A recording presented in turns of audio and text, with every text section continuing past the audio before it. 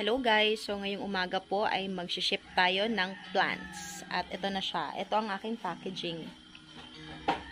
Since first time ko po ito guys, samahan nyo ako. At ayan na nga guys, pinapandar na natin ang ating masasakyan.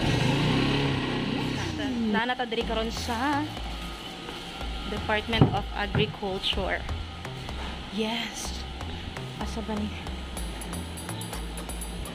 Veterinary industry.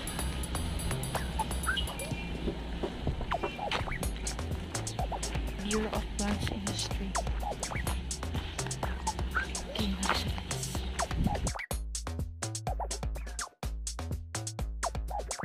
So guys, successful. Nakakuha na taong ah, National Plant Quarantine Service Division dili na sa Zamboanga na natay ato ang permit sa pag-ship sa ato ang plant.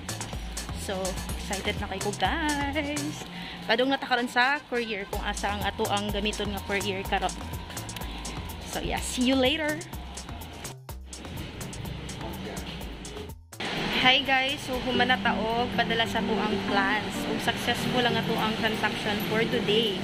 So, yes. Humana ko guys. Good to go na ko. Bye-bye.